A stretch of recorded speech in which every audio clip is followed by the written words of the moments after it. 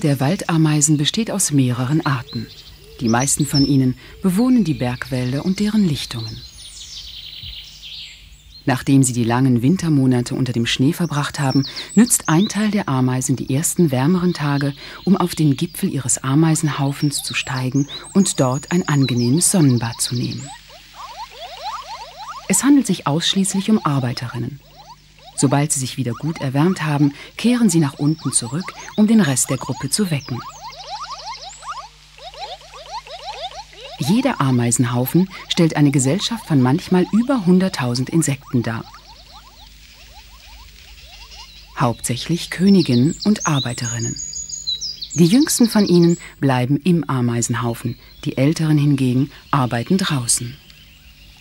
Eine der Hauptbeschäftigungen dieser alten Arbeiterinnen besteht darin, ihren Wohnort zu vergrößern und einzurichten. Ununterbrochen schleppen sie verschiedenes Material wie zum Beispiel Tannennadeln oder kleine Äste an. Auch schwerere Zweigchen schrecken sie nicht im geringsten ab. Wenn es nicht anders geht, machen sich eben mehrere Ameisen an die Arbeit. Was natürlich nicht heißt, dass diese Zieharbeit immer harmonisch vor sich geht, wie man sieht. Aber nicht nur draußen tut sich etwas. Die Oberfläche des Ameisenhaufens ist mit dem Inneren durch eine ganze Reihe von manchmal bis unter den Waldboden führenden Gängen verbunden.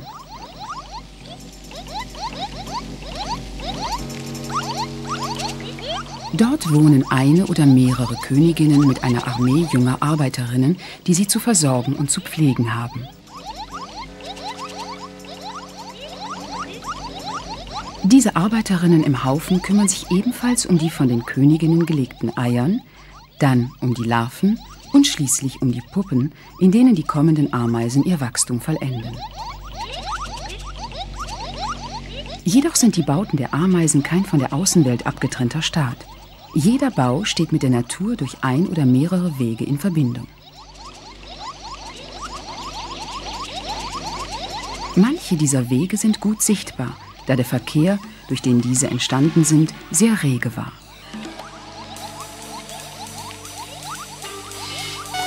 Es handelt sich um richtig gehende einspurige Autobahnen, auf denen es keine Unfälle gibt. Die zum Außendienst bestellten Ameisen benutzen diese ununterbrochen, um in der Umgebung zu jagen und ihre Beute in den Bau zu bringen. Ameisen spielen in der Natur eine sehr bedeutende Rolle, unter anderem, weil sie eine große Anzahl an Raupen, Spinnen und Insekten aller Art fangen.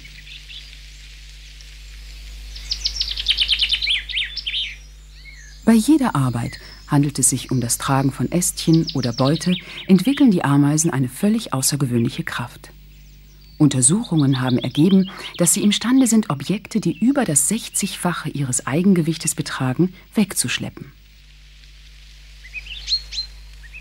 Die Beute wird so bis in das Innere des Baus getragen und dort zerteilt und gefressen.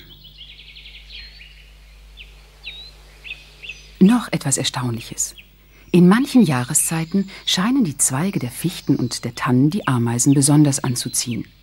Ganze Heerscharen erkundschaften aufmerksam einen Zweig nach dem anderen. Was suchen sie? Die da. Eine wuselnde Läusefamilie, die den Saft des Zweiges, auf dem sie sitzt, saugt.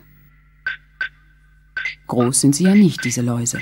Knappe zwei Millimeter, was die Größen anbetrifft. Aber die Ameisen sind ganz verrückt nach ihnen.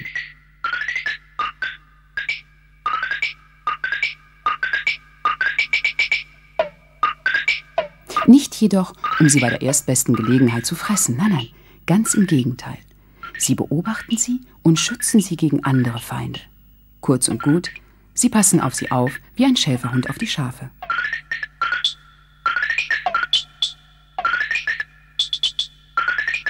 Denn das, was sie interessiert, ist dieser kleine glänzende Tropfen, den die Läuse fast ständig ausscheiden und den man Honigtau nennt. Dieser Honigtau besteht aus reinem Zucker, eine der Lieblingsspeisen der Ameisen. Dieser erstaunliche Sirup stellt mehr als die Hälfte ihrer Nahrung dar.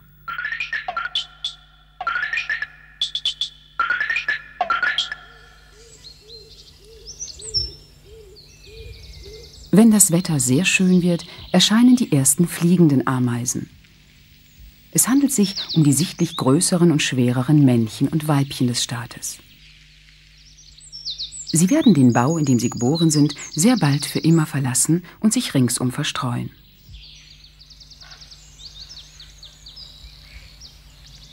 Kurz darauf treffen sich Männchen und Weibchen wieder zur Begattung.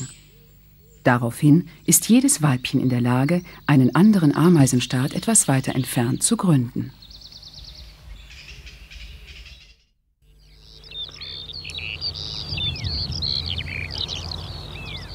Jeder Raubvogel, wie zum Beispiel ein Falke oder ein Bussard, benötigt, um seinen Rang als Jäger behaupten zu können, eine perfekte Jagdausrüstung. Als erstes ein hochentwickeltes Augenpaar. Dieses nimmt einen Großteil des Kopfes ein. Seine Augen ermöglichen ihm ein großes Gebiet zu überblicken und insbesondere mit einer teuflischen Genauigkeit die geringste ungewöhnliche Bewegung ganz dort hinten im Feld, hinter dem Grasbüschel einer Feldmaus auszumachen. Als zweites natürlich der Schnabel, um seine Beute zu zerreißen. Letztlich seine kräftigen Füße mit ihren beeindruckenden Krallen zum Fangen und Töten der Tiere, die sich haben überraschen lassen. In Anbetracht dieser Waffenausrüstung scheinen die Nagetiere, Hauptbestandteil der Ernährung der Bussarde und Falken, ziemlich bloß dazustehen. Ihre einzige Verteidigung besteht darin, so schnell wie möglich zu verschwinden und ihre Beschäftigung unter der Erde weiterzuführen. Solange ihre Erzfeinde ruhig oben im Himmel ihre Kreise ziehen, haben die Feldmäuse nichts zu befürchten. Die Raubvögel spielen lediglich mit dem Wind, ohne an irgendeinen Angriff zu denken. Hockt sich jedoch einer der Gauner so wie hier von weitem sichtbar auf einen Draht, einen Pfosten oder einen Baum mit Blick auf die Wiesen, so muss man auf der Hut sein. Denn das heißt, dass sie auf der Jagd sind und ihre Beute schon fest ins Auge genommen haben. Manchmal jedoch wird dieser Beobachtungsposten durch eine andere Jagdmethode ersetzt, das Spezialgebiet des Falken. Er steht in der Luft. Die Nase gegen den Wind, mit nur unmerklich zitternden Flügeln scheint der Vogel tatsächlich in der Luft zu schweben, bevor er sich auf seine Beute herabstürzt.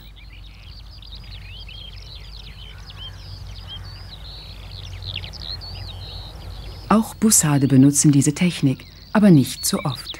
Feld- und Waldmäuse können sich nur noch auf ihre Reaktionsgeschwindigkeit verlassen, wenn sie nicht wie diese hier einen Höhenflug, jedoch ohne Rückflug unternehmen wollen.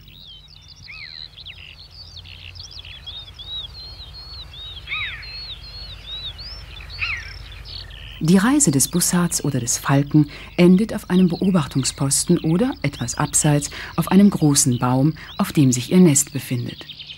Dort verzehren sie dann genüsslich ihre Beute.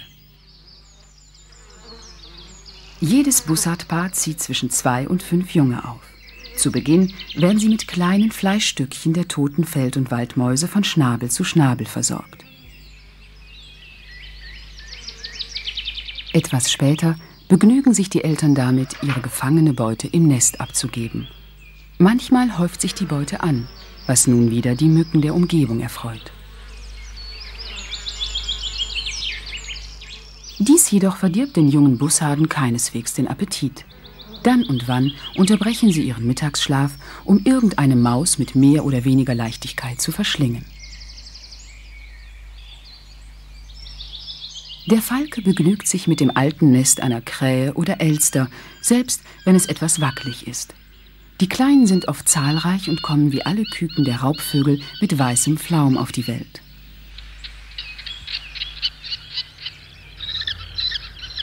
Es kommt aber auch ausnahmsweise vor, dass nur ein Vogel aus der Brut schlüpft. Für ihn ist das natürlich eine gute Sache, denn die Eltern brauchen nur ein Junges zu versorgen. Verhungern wird er also ganz bestimmt nicht. Die Versorgung geschieht immer über den Luftweg. Nur die Mutter bringt das Futter. Wie alle kleine Bussardküken wird der junge Vogel zu Beginn mit klitzekleinen und achtsam verteilten Fleischstücken ernährt.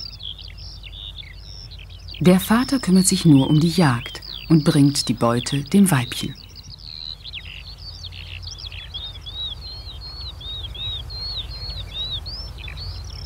Nach zwei Wochen und einigen Mahlzeiten haben die jungen Bussarde sich bereits stark verändert. Anstelle des weißen Flaums haben sie nun ihre ersten richtigen Federn. Man sieht sie nun immer häufiger am Nestrand, auf beiden Beinen, mit einem wachsenden Interesse für ihre Umwelt. Die Entwicklung ist natürlich der des Faltenpaares identisch. Ausschließlich das Weibchen bringt die Nahrung ans Nest, aber auch dieses kommt nun nur noch in Windeseile vorbei. Ein kleiner Unterschied besteht jedoch zwischen Falke und Bussard. Die Falken besitzen die seltsame Angewohnheit, die Köpfe ihrer Opfer vom Rumpf zu trennen, bevor sie diese in das Nest bringen.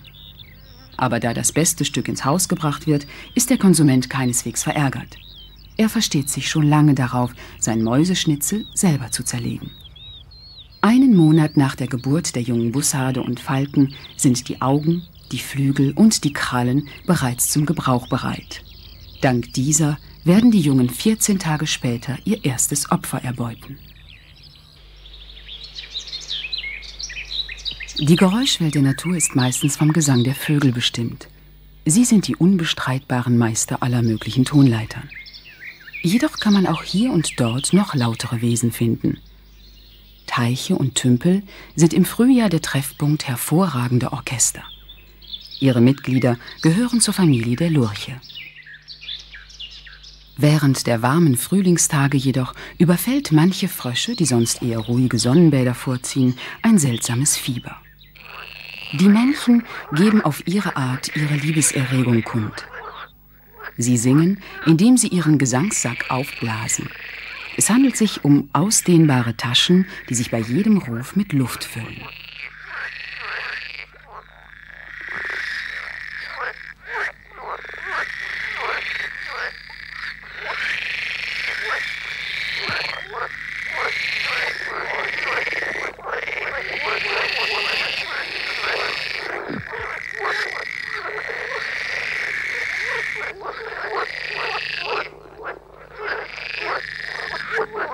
Ziel dieser Ton- und Bewegungsintensität ist, die Weibchen der Umgebung anzuziehen und zu erobern. Das Konzert dauert von morgens bis abends. Manchmal hört es kurz auf, setzt aber umso schöner wieder ein. Auch der Sonnenuntergang unterbricht es nicht. Aber nach und nach werden ihre Stimmen durch die einer anderen Musikgruppe ersetzt.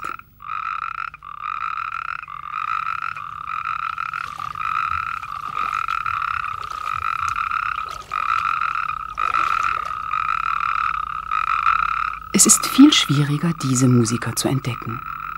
Zuerst einmal, weil es sich um Nachttiere handelt und weil ihr Gesang von überall und nirgends zu kommen scheint. Sitzen sie auf dem Wasser oder im Geäst? Noch dazu hassen sie es, während des Gesangsunterrichtes gestört zu werden. Nähert sich ein Bewunderer, hören sie sofort auf.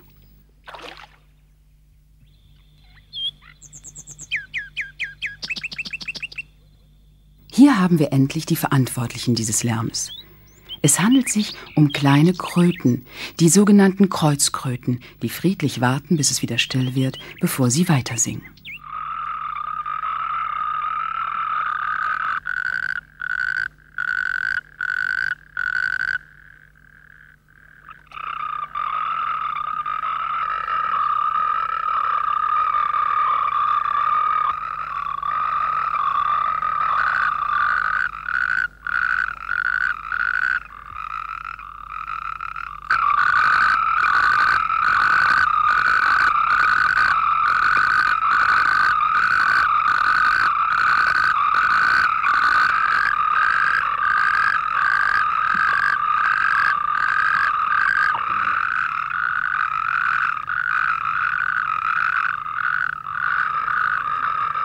Auch dieser Singsang dient dazu, die Weibchen anzuziehen.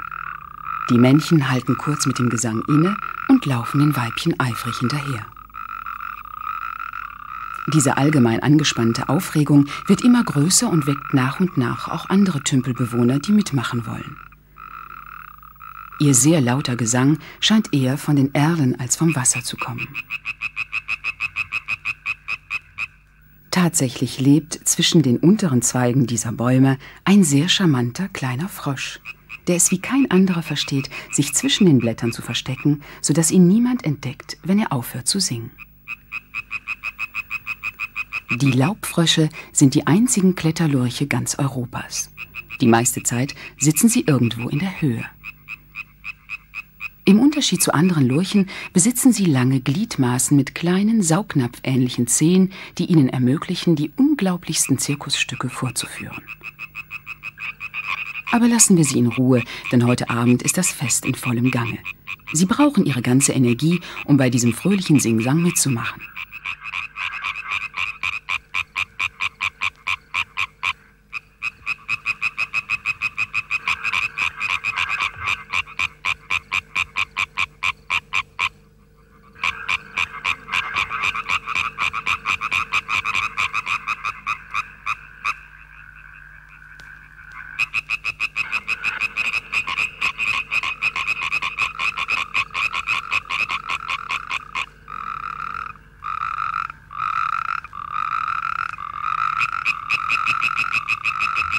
Das Konzert wird, von einigen kurzen Unterbrechungen abgesehen, die ganze Nacht dauern.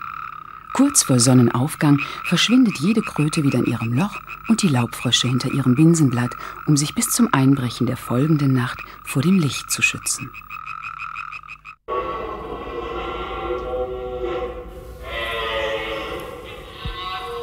Oft herrscht während der Herbstnächte in unseren alten Wäldern eine große Aufregung. Die verliebten Rothirsche werden in der Brunftzeit immer lauter.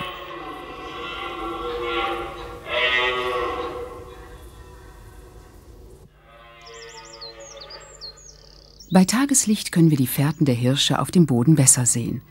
Sie geben uns ihre geheimen Wege an. Mit etwas Glück und vor allem mit viel Geduld können wir sie vielleicht überraschen.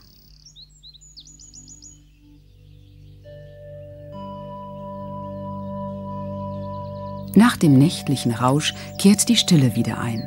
Aber die Langsamkeit und Eleganz der Bewegungen ist trügerisch.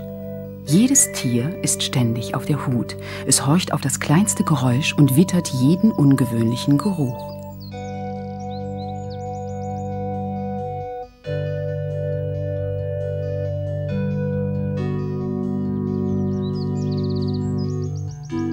Das älteste Weibchen führt vorsichtig das Rudel. Die Männchen und die jüngeren Weibchen mit ihren Jungen vertrauen ihrer großen Lebenserfahrung.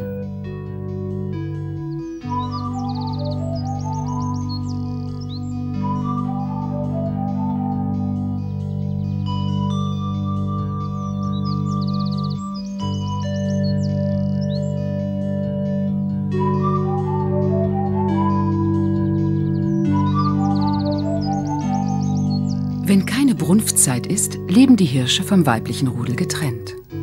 Im Herbst natürlich versuchen sie sich zu nähern und der Wettbewerb zwischen den jüngeren und den älteren Hirschen wird immer heftiger, da sie die Gunst der weiblichen Tiere erhalten wollen. Manchmal beginnt die Brunft schon lange vor dem Sonnenuntergang und das laute Röhren der Hirsche erfüllt den ganzen Wald.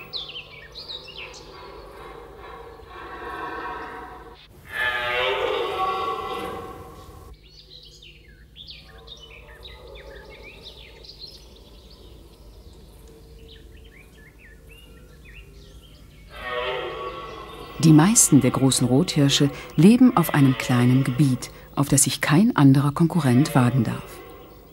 Mit lauter Stimme gibt jeder Hirsch seinem Besitzanspruch Ausdruck und versucht so lange wie möglich der Herr des Ortes zu bleiben.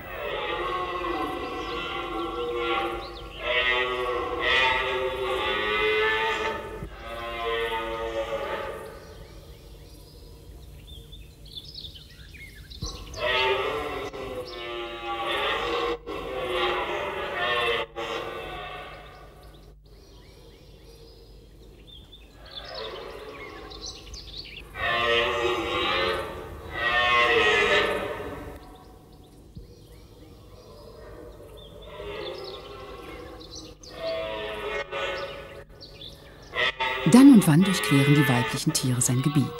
Der dort lebende Hirsch versucht sie in seiner Nähe zu halten. Haben sie sich aber anderweilig entschieden, bleibt er lieber an Ort und Stelle und führt seinen Liebesgesang fort.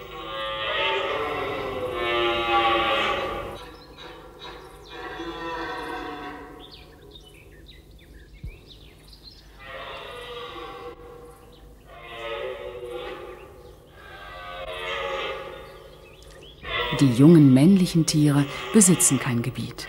Immer wieder greifen sie die alten Hirsche an.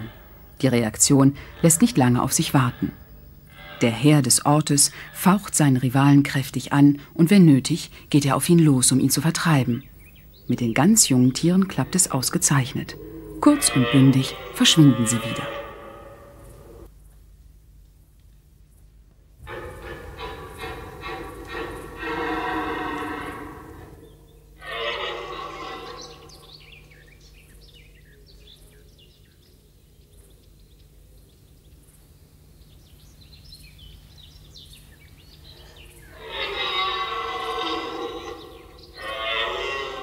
Sie jedoch ungefähr gleich stark, kämpfen die Hirsche miteinander.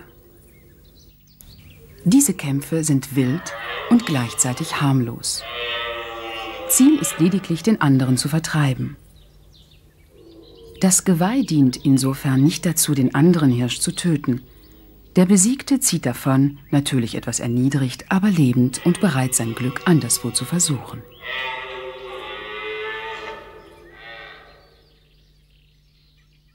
Diese Begegnungen finden manchmal in Anwesenheit der weiblichen Tiere statt, die jedoch nicht im geringsten darauf achten. Man kann ihnen noch so lange den Hof machen und laut schreien, sie haben für dieses Hin und Her nur Verachtung und gehen ruhig ihren eigenen Beschäftigungen nach. Ende Oktober wird es langsam wieder stiller. Die weiblichen Tiere bilden nun große Rudel, die Hirsche hingegen suchen allmählich allein oder in kleinen Gruppen ihr Winterlager auf.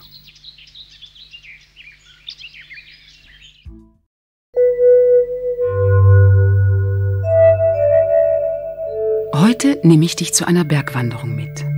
Hopp, ein Satz und wir sind im Frühjahr. Die Natur wacht eben erst auf und die Murmeltiere schauen zum ersten Mal wieder aus dem Haus.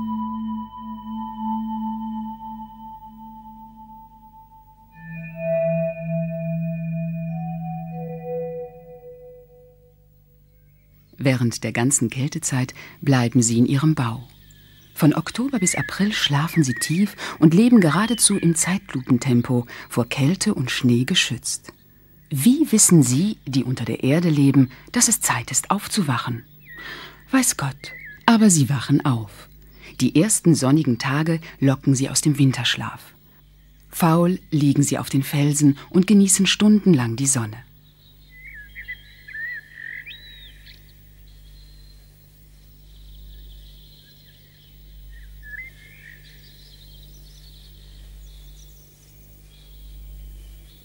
Im Frühjahr durchstreifen unsere Murmeltiere endlos ihr Gebiet. Sie sehen etwas schwerfällig und plump aus, doch in Wirklichkeit sind sie sehr gewandt und bewegen sich mit Leichtigkeit von Fels zu Fels.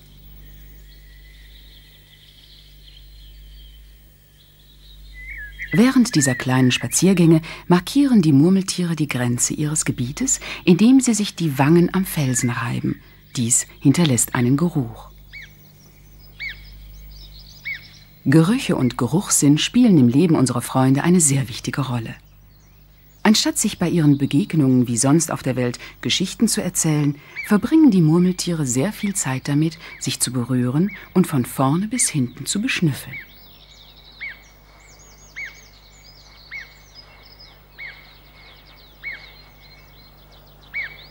Sie tun dies, um sich zu erkennen und sich miteinander zu verständigen. Dies ist in jeder Familie so. Eine Murmeltierfamilie besteht aus dem Vater, der Mutter, den Jungen dieses und des letzten Jahres.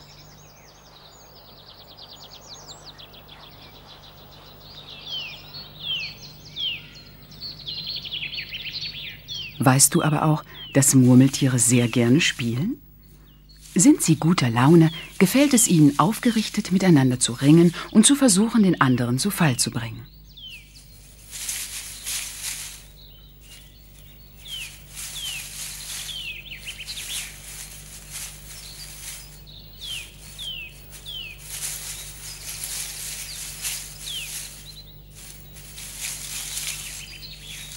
Die Murmeltiere sind nicht besonders furchtsam. Natürlich darf ihnen der Mensch nicht zu nahe kommen. Ein verlassenes Chalet kann unter Umständen mehreren Familien als Haus dienen, sodass sie nicht einmal mehr einen Bau graben müssen.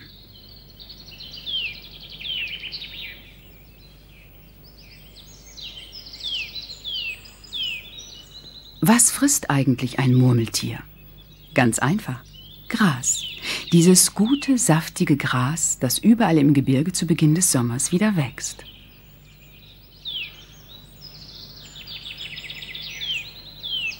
Einen Großteil ihrer Zeit verbringen sie damit, teils auf allen Vieren, teils im Sitzen, ruhig zu grasen, eine ansehnliche Ration zu verschlingen.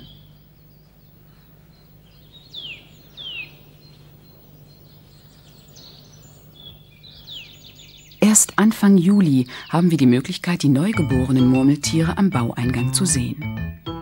Du findest, dass sie schon ziemlich flink aussehen? Das ist keineswegs erstaunlich, denn sie wurden vor bereits 40 Tagen geboren und ihre Mutter hat sie ganz tief unten im Bauch gesäugt.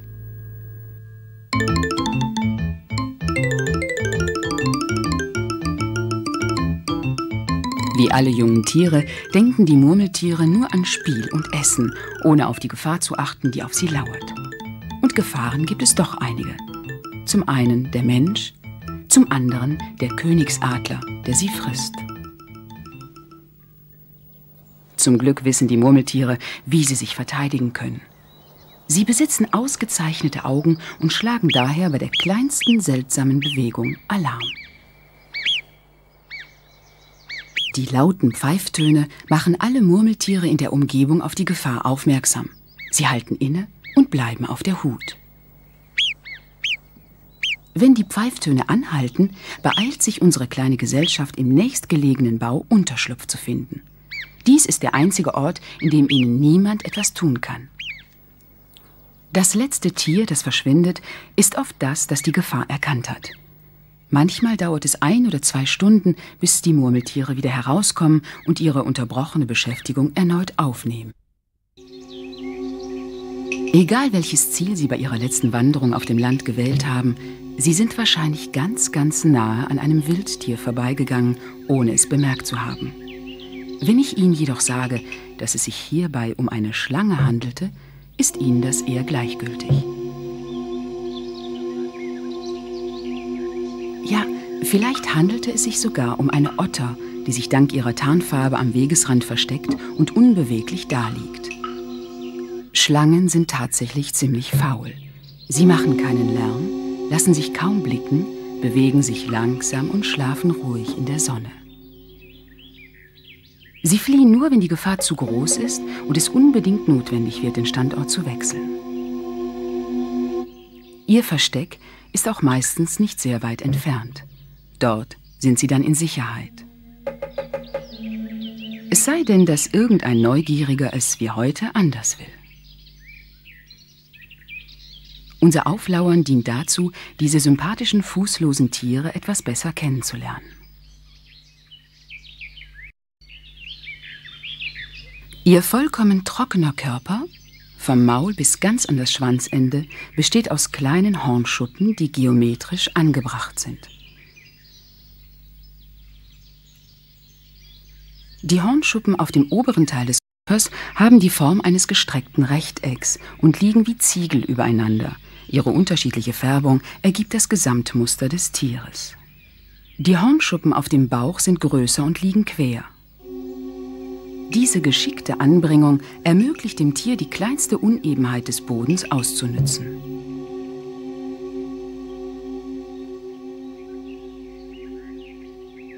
So wie wir neue Schuhe kaufen, wenn unsere Füße wachsen, so wechselt die Schlange mehrmals im Jahr die äußerste Hautschicht. Manchmal findet man in den Hecken oder im Gras, wo die Schlange sich gerieben hat, das Überbleibsel dieses seltsamen Vorgangs.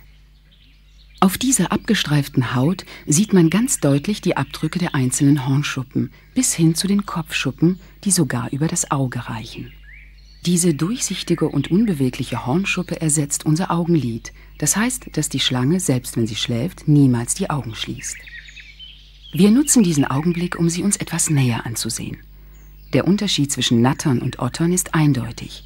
Die Pupille der ersten ist rund, die der Ottern ähneln der einer Katze. Die Pupille sitzt senkrecht und ist je nach Licht mehr oder weniger offen.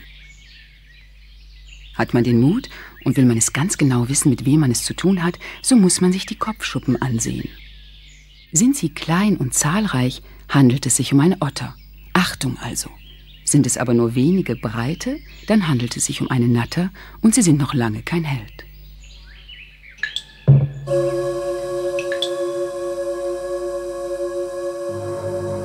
Beide jedoch, sowohl die Ottern wie die Nattern, sind Fleischfresser. Von Zeit zu Zeit gehen sie jagen und suchen nach einer Feldmaus oder einer Eidechse, die sie, sobald sie diese entdeckt haben, angreifen. Da die Nattern keine Giftdrüsen haben, müssen diese eine andere Technik anwenden. Sie müssen ihr Opfer so lange würgen, bis sie es lebendig runterschlucken können.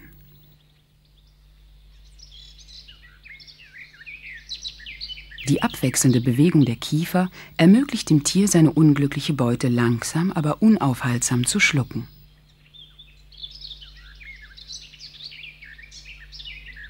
Stellt sich jedoch heraus, dass man sich etwas übernommen hat, muss man eben aufhören.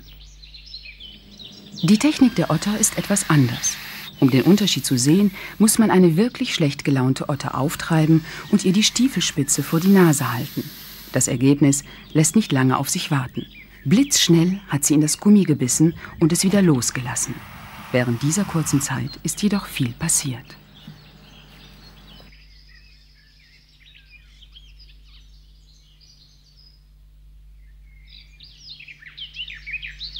In dem Maul der Otter befindet sich eine Giftdrüse, die in Verbindung mit den langen sogenannten Hackenzähnen steht. Wie bei einer Spritze sind diese Zähne hohl. Während des Bisses, der nur einen Bruchteil einer Sekunde dauert, dringen sie in die Haut ein und spritzen das Gift in das Gewebe des Nagetiers. Ein paar Sekunden lang wird das Tier noch rennen und dann tot umkippen. Die Otter geht ihm nach und findet es dank ihres Geruchssinnes. Sie fängt ihre Mahlzeit beim Kopf an. Eine traurige Geschichte, aber jeder muss essen. Mitten im Winter, im Gebirge noch mehr als im Flachland, sind die klimatischen Einflüsse auf die Tiere besonders stark. Die Kälte, der Regen, der Schnee begrenzen ihre Lebenschancen. Viele unter ihnen, wie zum Beispiel die Vögel, ziehen es vor, Kehr zu machen und in angenehmere Länder im Süden zu ziehen.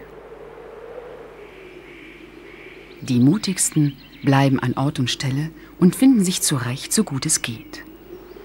Wenn das Wetter sich wieder etwas verbessert, haben wir jedoch die Möglichkeit, dank des Schnees diesen hartgesottenen auf die Spur zu kommen und ihre Gewohnheiten zu beobachten.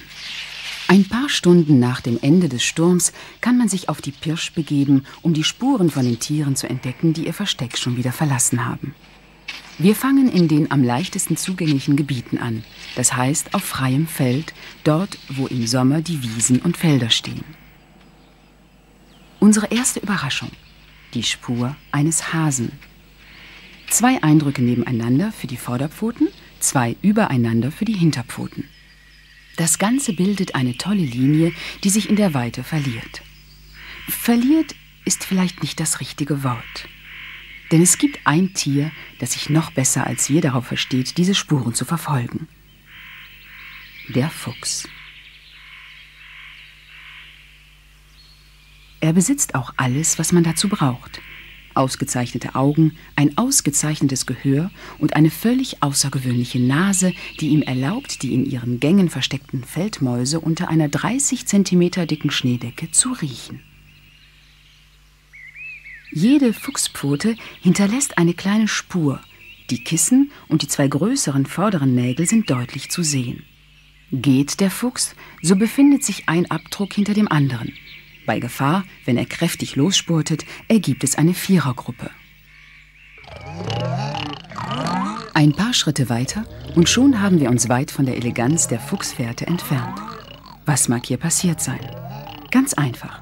Eine Gruppe von Wildschweinen ist hier vorbeigekommen, um nach Wurzeln zu suchen. Der Abdruck ihrer schweren Hufe ist eindeutig zu erkennen, die reinste Unterschrift.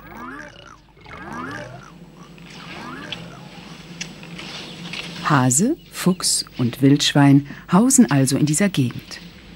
Wir gehen jedoch noch weiter, in Richtung Tannenwald. Der Wald birgt so manche Überraschung.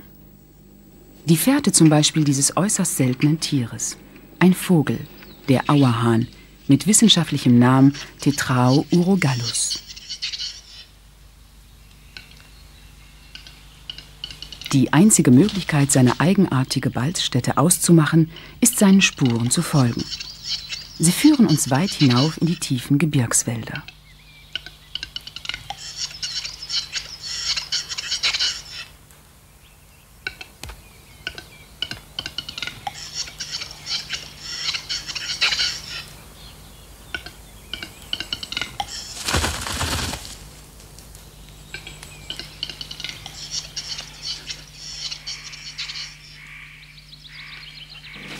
Wenn es auch für viele Vögel schwierig ist, im Winter Nahrung zu finden, so gibt es doch einige Tierarten, die in dieser Jahreszeit kaum Sorgen haben. Das Eichhörnchen zum Beispiel, von dem diese kleine rechteckige Spuranordnung stammt. Folgt man seiner Fährte, so kommt man jedes Mal an den Stamm einer Tanne oder Fichte, auf dessen Gipfel unser kleiner Genosse bereits hockt, um zu schmausen. Er hat keine Schwierigkeiten, sich ein Menü zusammenzustellen. Seine Vorratskammer ist immer voll, da er sich hauptsächlich von den Samen der Tannen- oder Fichtenzapfen ernährt.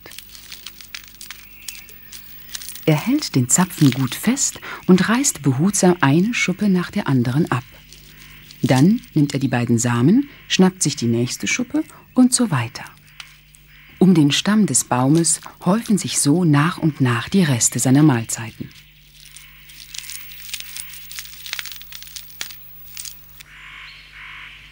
Für die grasfressenden Tiere wie Rehe oder Gämsen ist das Leben wesentlich schwieriger. Der Schnee erschwert ihre Wanderungen. Oft müssen sie sich mit Flechten, Moosen oder Rinden begnügen. Verlässt man den Wald wieder, führen die Spuren der Gämse auf einen der nächsten Felsabhänge. Erstaunlicherweise ist dort die Schneeschicht am dünnsten. Es ist also leichter, dort ein paar vom Frost gerötete Grasbüschel zu finden.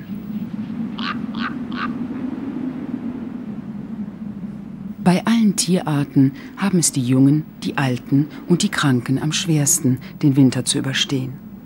Aber diese klimatische Strenge allein, ein notwendiges Übel, garantiert das Überleben der Tierfamilien.